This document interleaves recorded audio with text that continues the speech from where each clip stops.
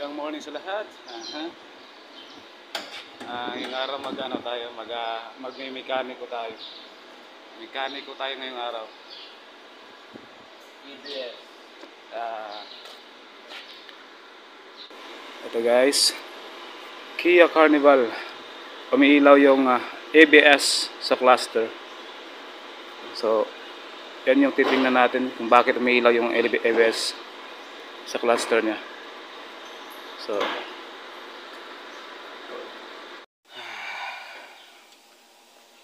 ah, yun guys. Kaya pala umiilaw sa cluster yung ano, ABS. Yung ABS kasi ano, ah, naputol pala. Ito, putol. Ito, ito yung kadugtong niya. Yan, ito pa. Ito pa. So, gagawin natin i ah pagdudugtungin mo muna. Yan guys. Nadugtong ko na. Yan. Nadugtong ko na yung ano putol na wires. So punta naman tayo doon sa ano sa cluster kung kung may ilaw pa ba. Then uh, i-scan natin i-scan natin para mawala yung ano ilaw niya EBS Nasalit banta nga ang urinary system, mao ang responsable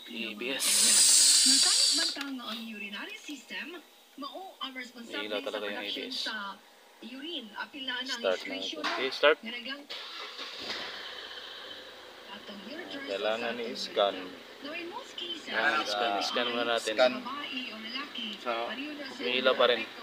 bladder. Eh, nadugtong na yung ano, ng wires. Dapat check nimo ang imong pagkaon. dapat check Ano, Maintain ang Sulod. Sigawan! Teka, kapsul. na, isa.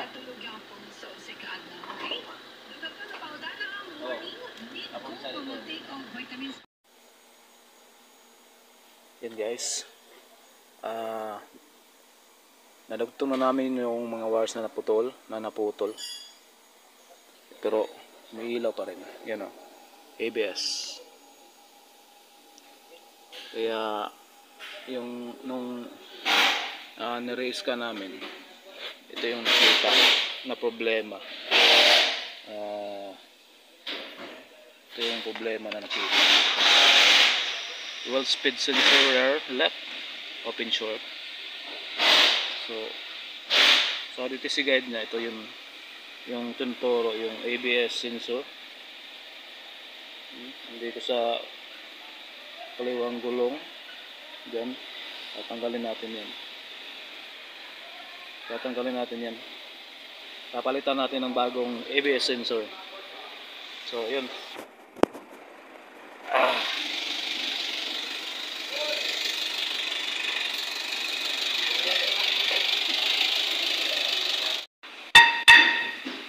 Guys. Tatanggalin na namin yung ABS sensor. Papalitan ng bago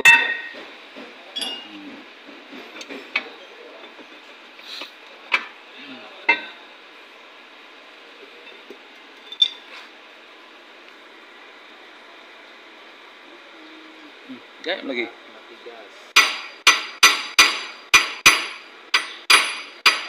Upat man nakabol.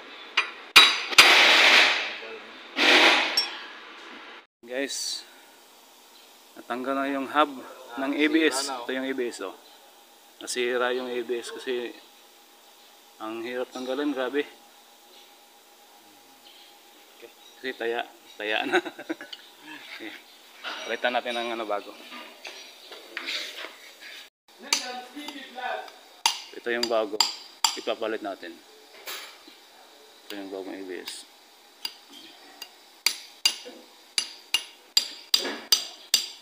Papalit natin to.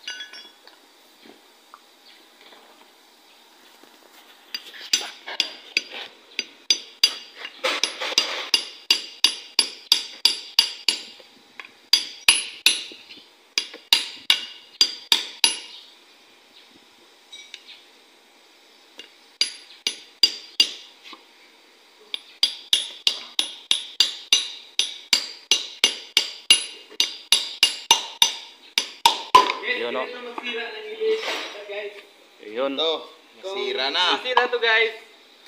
Palitan mo ng Jim E. Ito yung papalit na natin. Sira. Nasira kanina. Sige, Palit mo na. Palitan na natin ng bago. Ah, Oo. Lager yan. yun? Pass play ba? Pass play. Ah! Ito na, nilagyan na Lagyan natin ng na ng- ano, grasa. Bigyan na ano, ano, maliit, kahit maliit lang na grasa.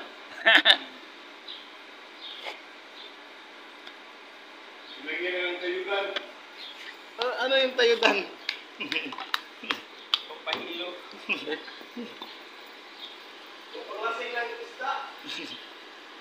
Itong rubber mallet.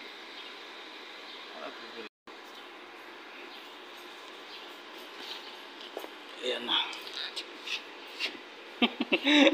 walang la walang ibang wala, walang rabing rubber mallet kaya kahoy na lang gagamitin natin.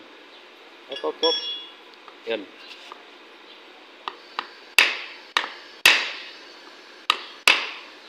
Okay, let's go.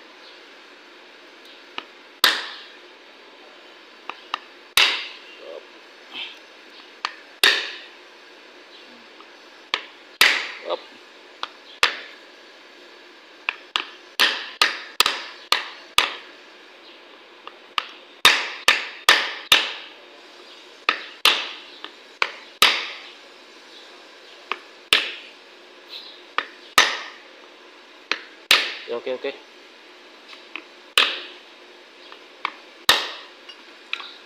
Tapos na. Tapos na.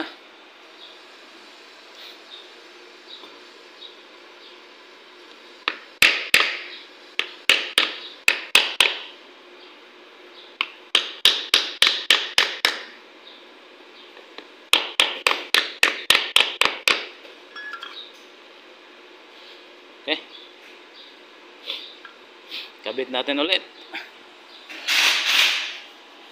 Kabit natin ulit.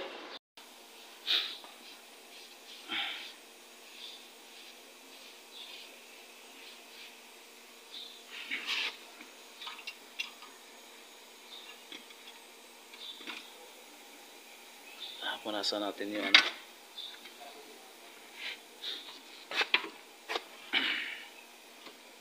Hindi buga to eh.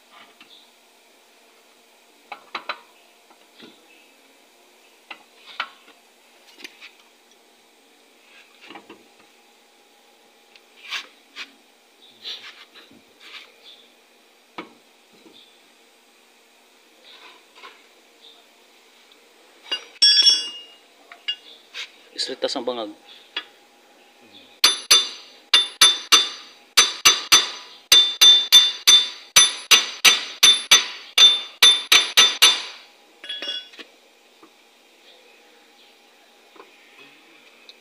Man. No? Iwi. Yun guys. Nakabit na natin yung ah, bagong ABS sensor. Dito yan. So, scan na natin yan. Scan natin ulit. Pang mai-erase yung ano, yung ABS.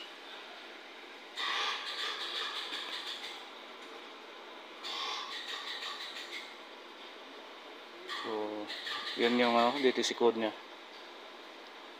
I-erase natin yan. Ma-erase.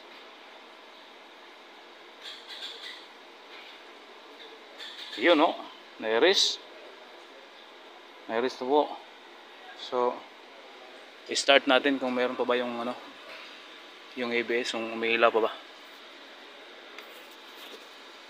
Kung umiilaw pa ba yung ABS. Start natin. Start. Start, George! Start! Ayun. Wala na yung ABS. Hindi na siya umiilaw. Yan guys. So, ah sira pala yung ano, isang ABS dito sa kaliwa, sa atras. Then putol din yung mga wires. Ingat-ingat ng mga aso daw. So, So okay na po yung ano DTC, wala na tayong DTC. Eh, eh risk natin ulit. Ah, wala na talaga. No current DTC. Race scan. Ah, wala na talaga. So yun guys. Ah yun lang guys muna sa ngayon. Sabi nga ni Doc Chris, ah, sharing is caring. God bless you.